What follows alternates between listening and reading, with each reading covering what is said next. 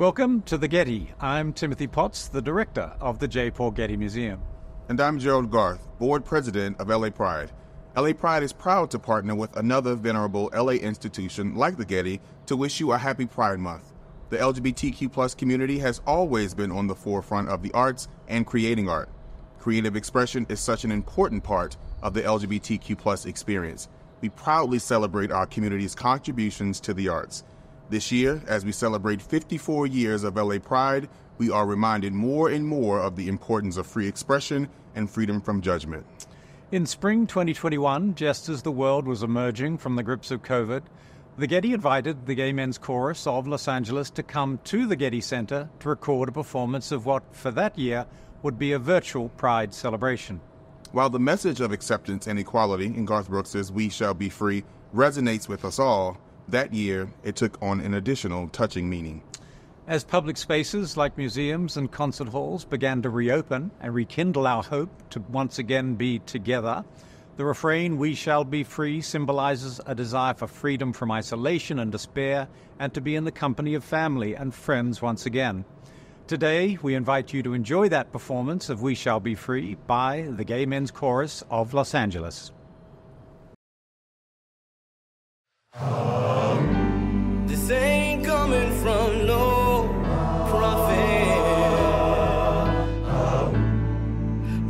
Just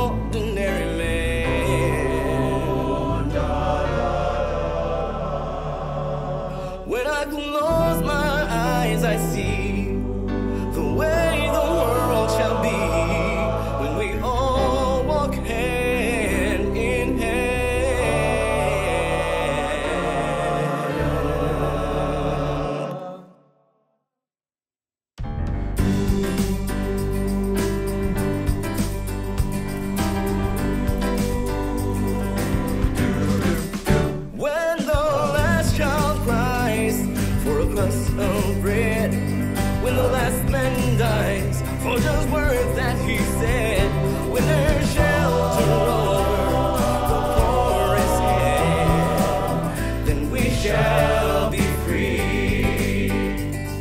The last thing we notice is the color of skin. And the first thing we look for is the beauty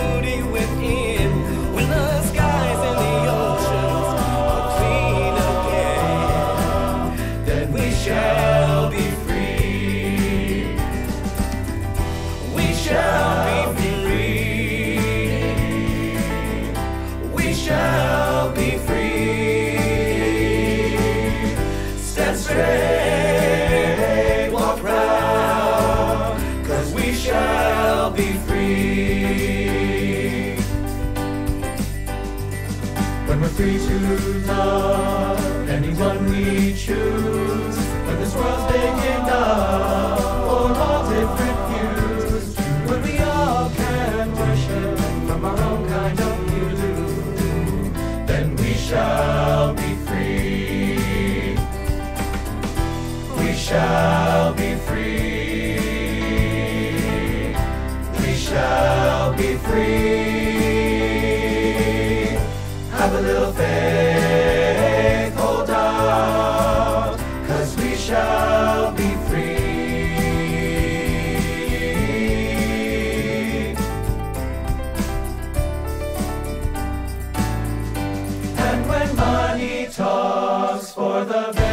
last time, and nobody walks a step behind when there's only one race, and that's humankind. Then we shall be free. Oh, we shall be free. We shall.